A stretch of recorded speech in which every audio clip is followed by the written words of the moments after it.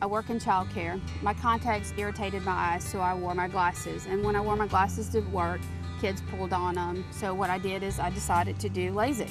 I was really scared, but um, you know, everybody there was perfect. And the next morning I woke up and I didn't have to look for my glasses on the nightstand.